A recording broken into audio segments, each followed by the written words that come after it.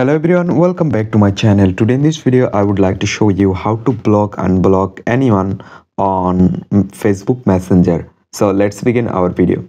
I just opened my Facebook Messenger and there have you can see only one person and I want to block and unblock this person on this uh, Facebook Messenger.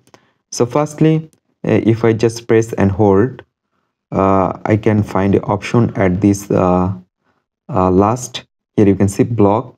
Otherwise if i just open the text uh, click on this I, I, I icon at the top right corner and select again block. And select block on messenger select it and select block. And if i delete it if you want you can delete. Or if you don't want you cannot delete it so here you can see there have no uh, uh, inbox. So right now if you want to unblock this person just click on this uh, top three line and select settings.